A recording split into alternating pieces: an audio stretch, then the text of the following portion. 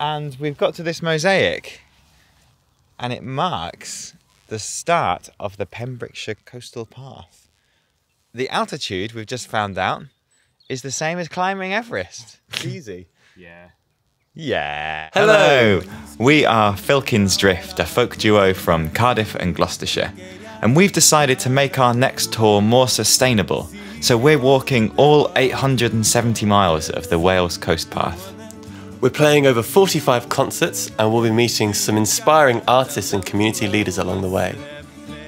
And this week, we've walked 104 miles from Aberystwyth to Trevine.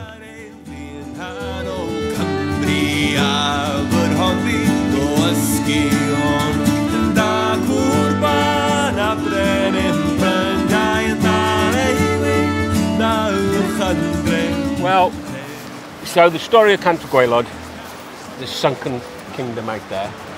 Um, yes, I mean, uh, we know that there's a river valley running out across there. We've, we, we've surveyed it actually. Earlier this year, I had a, a boat come down from Scotland and they were mapping the, the seabed and underneath the seabed. And so we've Yeah. got the Ystwyth and the Aran are flowing about two kilometres offshore. Down there, they didn't go straight out to sea at Aberystwyth. They swung south. You followed their path this morning as you walked the cliffs. It's on your right, kilometres offshore. This um, river valley comes down all the way to almost to Newquay before it swings off offshore. Um, and we know that um, in this valley there's peat because it was they did a borehole in the 1960s out there and recovered peat. It dates the peat is dated to about 10,000 years ago. Peat doesn't form in seawater, only forms in fresh water. So we know that uh, 10,000 years ago it's dry out there. Our research suggests that the modern coastline was largely where it is by round about just after 10,000 years ago. So the sea's Right. coming in. So any stories about land out there are older than 10,000 years old if we take the story at face value. Yes. And um, only last night I got an email from uh, somebody I know up there saying they've just found a, a bone yesterday in, in in deposits up at Ynyslas. So I'm hoping to go up there tomorrow and, and recover it. Oh, wow. Um, probably it's Iron Age and date. I know where they where they found it, and we've recovered other bones from that area earlier um, in the year and back in the year, the great year of 2020 when nobody was supposed to be out. Um, we did quite, I did quite a bit of work walking up and down uh, on my times out from uh, from the house. We'd go up and and see what was there.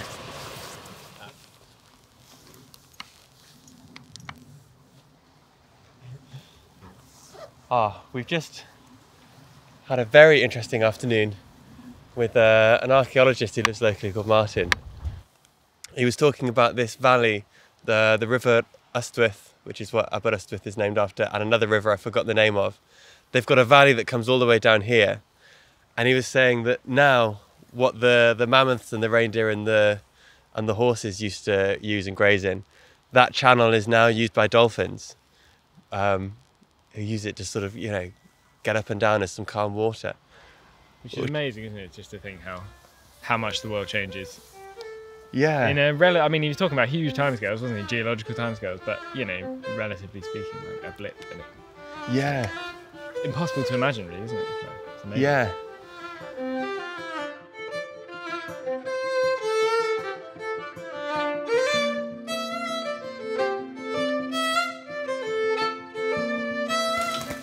Yeah, so those are little child and the kind of things that they're doing now, quite expensive toys and stuff like that.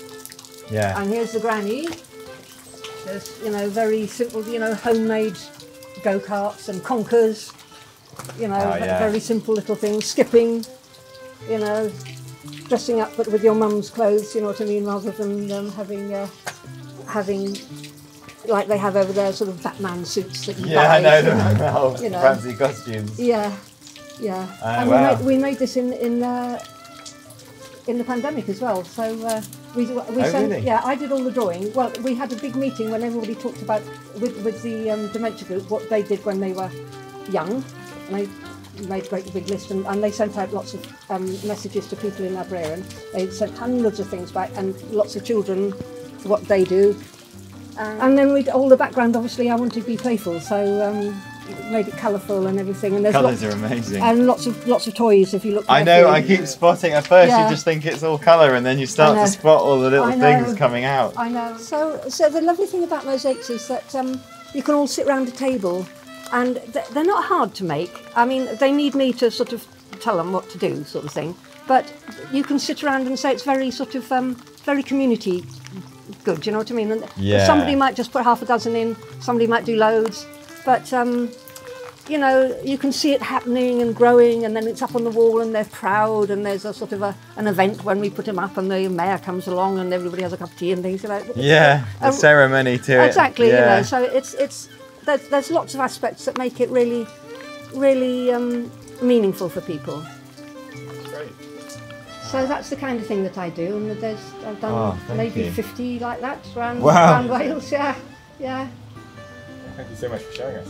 Oh well, it's nice too. I've been I really enjoyed last night, and my family did too, and it was really nice. Yeah. Oh, it's a good fun. Yeah, we really. Last night was lovely.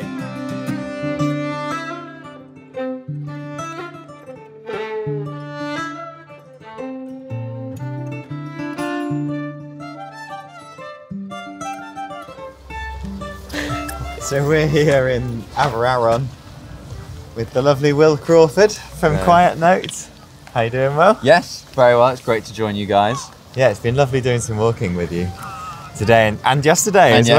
well. Yeah, no, Whole I've had, a. I've had full two days with you guys. So can you just tell us a little bit about what you do at Quiet Note?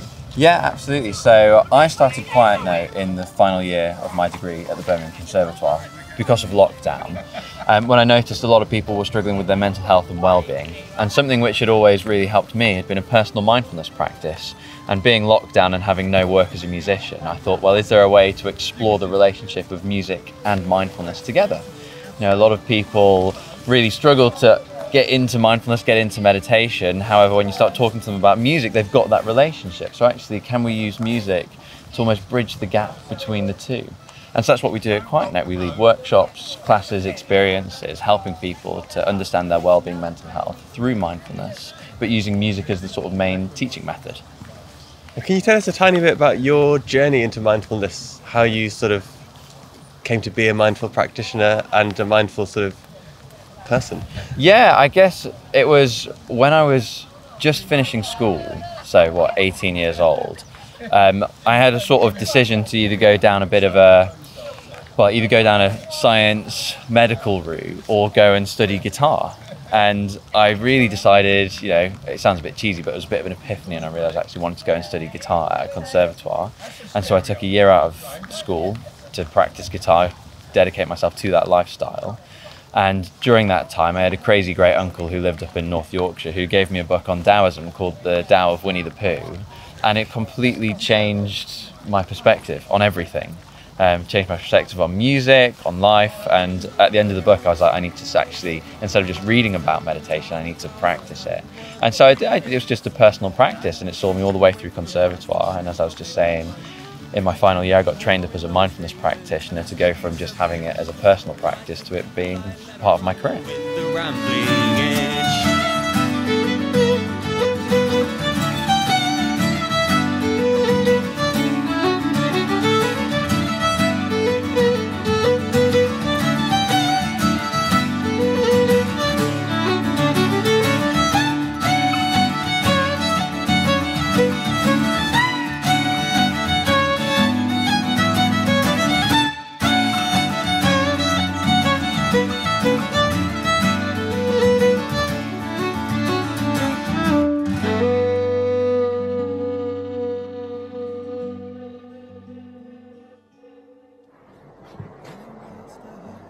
A lovely night in the Pentre Arms.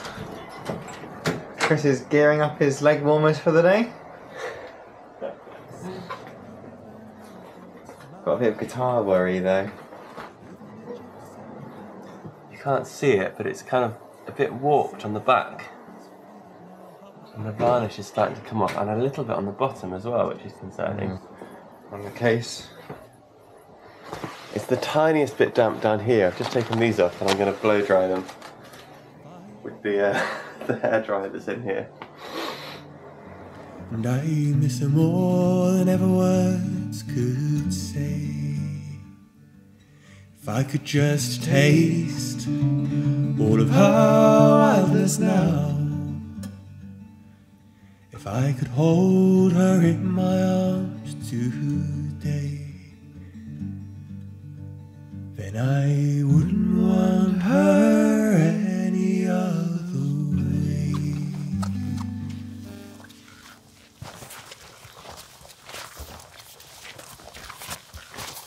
Today's been a bit of a. It's been actually one of my favourite days of walking, although I say that about quite a lot of them. It's been lovely.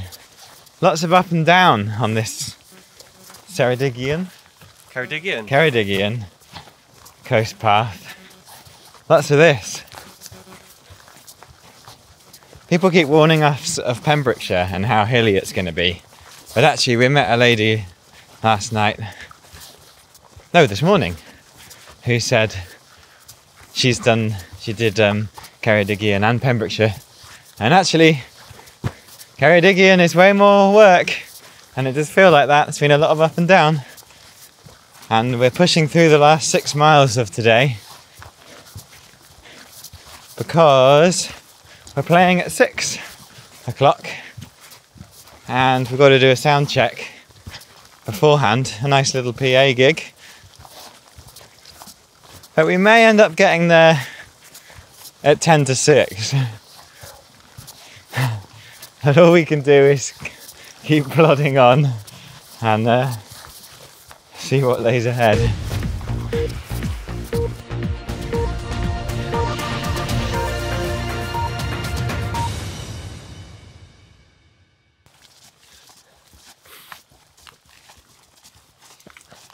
I've just been on the phone to the luthier who made this guitar, and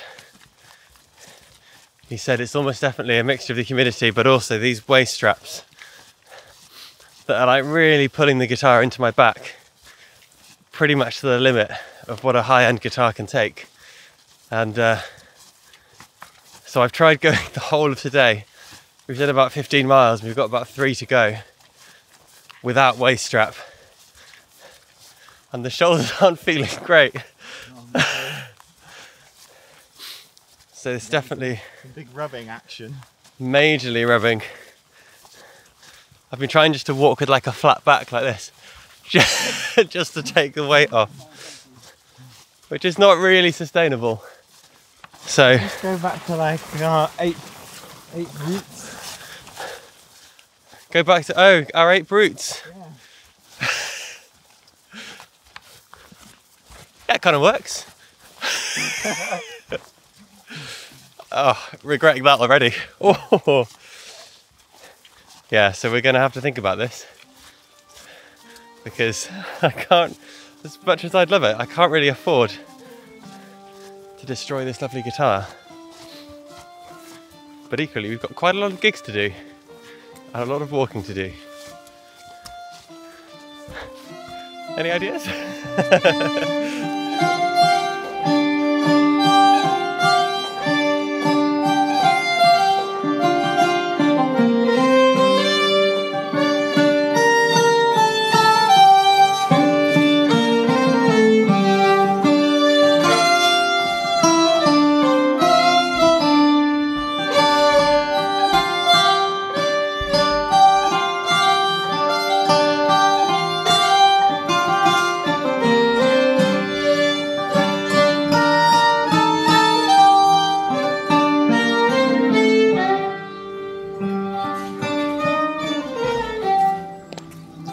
sun has just come out on a Tuesday morning. Absolutely glorious. And we've got to this mosaic, which is made by our friend Pod, who we met in Aberarth. And it marks the start of the Pembrokeshire Coast Coastal Path, which we'll be doing for the next two weeks. It's very long and wiggly. yeah, it's 300 kilometres by the looks of it. 300k. And the altitude we've just found out is the same as climbing Everest. Yeah. That's a bit of a thing, isn't it? Crazy, crazy elevation gain. So we're climbing Everest over the next two weeks, in effect. Easy. yeah. Yeah. Look Yeah. how stunning this mosaic is there as well. On all these places we can see that we're going to be. And come from. Yeah. So we're in St Dogmaels right now. We're playing in Newport this evening and then Fishguard tomorrow. On to St David's. Round, wiggle, wiggle to Milford Haven. Across the bridge. Luckily, we don't have to go all the way up this estuary. Across the bridge to Pembroke, Tenby, Amroth, and beyond. Two weeks.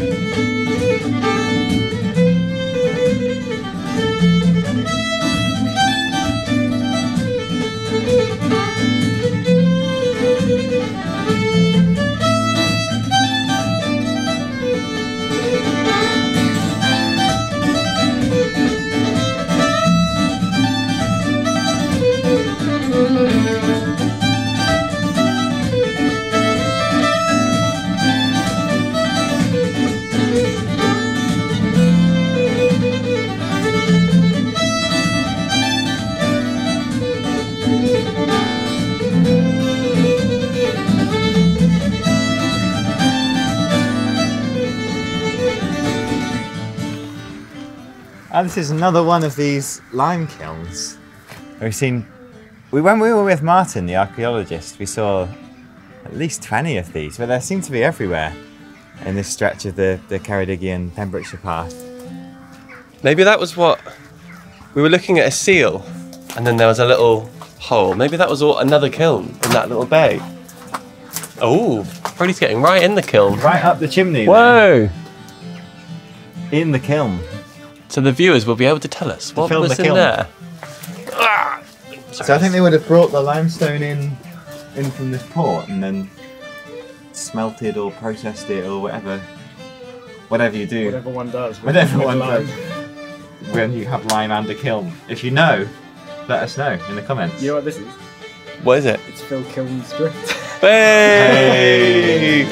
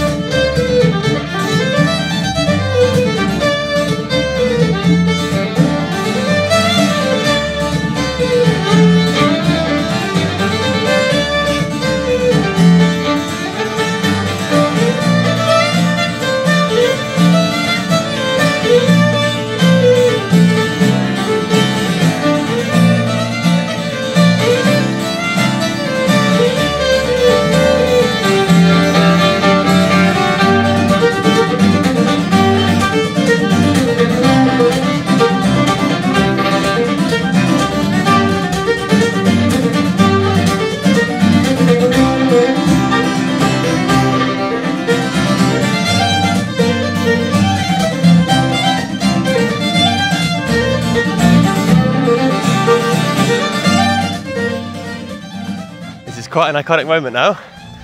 We are about to leave Cardigan Bay, which we've We've been swooping down here. for days. We joined it. It starts at Bardsey Island. And Bardsey Island itself was quite an iconic point for ages. We could see it for a really long time, but I've got no idea when we were there and how long this has taken. And this this is now the pinnacle point we leave. At Strumble Head Lighthouse is where the, the Cardigan Bay path ends. And here it is. And there it is. and the lighthouse is actually on and spinning and shining. Which is Yeah. Good to see. On spinning and shining. We've not really had many actual like lighthouses that we've been able to see functioning. But Cardigan Bay has been it's been an amazing journey because whoa yeah We've just been flying down it because there's so little wiggling around. We're now in essentially in South Wales, Southwest Wales. In I don't know, ten days, two weeks. I really have no idea how long it's taken. Five days. Five. I don't know.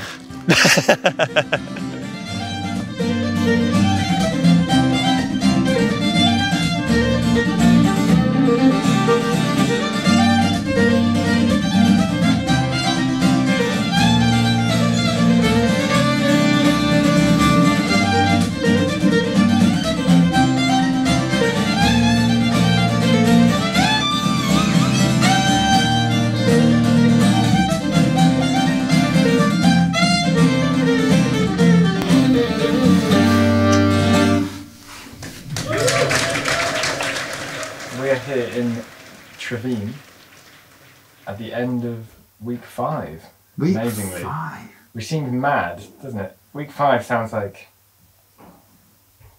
That's five's a big number. Five is a big number. yeah, because it still feels like we're just halfway, but actually, we're a lot more than halfway at this point. And it does feel like week five.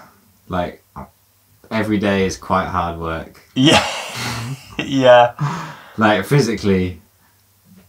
And just doing so much. yeah. It feels like about two weeks ago, everything felt quite easy. We had like Yeah. a really nice, we were in the rhythm of it, and it was still quite fresh. But now it feels like the work has picked up again. It does. Yeah, the admin is somehow picked up. It has, and the physical work, like Pembrokeshire is hard going, to be fair, because it's very up and down. Yeah. Yeah, and that's it's the thing. very wiggly. We're we're day four of Pembrokeshire, and it's already very wiggly and up and down. It's wiggly in, in both axes, isn't it? Like, it's w- wiggly vertically. and horizontally. Yeah. We are climbing Everest after all, Yeah. After we are. metaphorically. We are. But it's been a good first four days of Pembrokeshire. It's been. Yeah, I've enjoyed it. Stop pointing the camera at me. It's really weird. I learned to. What I learned today is to forage pennywort. I think that's what it's called. So we won't go hungry again. We, wo- we won't. Chris will point out all the leaves and shoots and roots that we can eat. And. Oh no, I forgot the name of it, but it apparently tastes a bit like apple peel, the other thing that I can forage. My favourite snack. Yeah. so we'll Well, never have to buy bag lettuce again. Good. We're saved. but if you wanted, this is actually this used to be a school. We're in a hostel, which used to be a school, and then after it was a school, it was a very bad hostel, and now it's a very nice hostel. It's sort of a medium hostel. Medium hostel. Didn't you say it was uh, voted in Germany or something? It was voted the worst hostel in Europe. Yes, its previous iteration was yeah. In its previous management in the previous world, it was the worst hostel in Europe. But now there's no way it's the worst hostel in Europe. It's one of the best hostels I've been in today. Wow.